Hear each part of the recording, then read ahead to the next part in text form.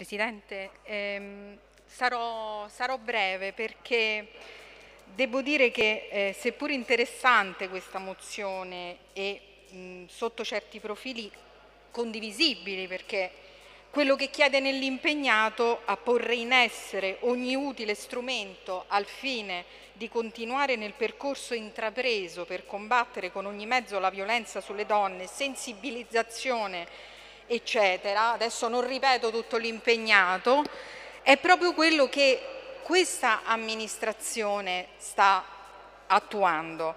L'iniziativa Amami e Basta, che è stata proprio citata all'interno della, della, della mozione, non è una delle uniche attività fatte appunto da questa amministrazione, ce ne sono tantissime, tra cui non di poca importanza proprio la delibera eh, relativa alla um, presa in carico, le linee guida della presa in carico delle donne vittime della violenza e dei minori e la stessa eh, delibera non fa altro che illustrare tutta una rete di sistemi eh, di azioni multidisciplinari proprio per la presa in carico della donna e degli eventuali figli minori.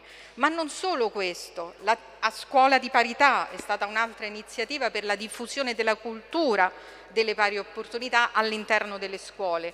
Quindi eh, tutto quello che c'è scritto in questa mozione non, eh, è in linea con quanto già l'amministrazione sta attuando. Questo non vuol dire che non si debba proseguire e migliorare ad apportare, ma è, non è assolutamente in contrasto con quanto l'amministrazione sta facendo.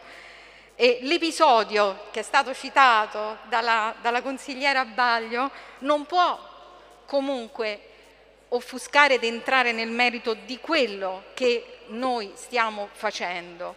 In realtà quello è un episodio che ha, sue, deve, ha delle sue ragioni, un uomo che ha magari espresso eh, per sfogo, ma non è questo la sede, non è la, eh, il, senso, il senso della mozione. Il senso della mozione è che questo che lei, voi chiedete è ciò che l'amministrazione sta attuando.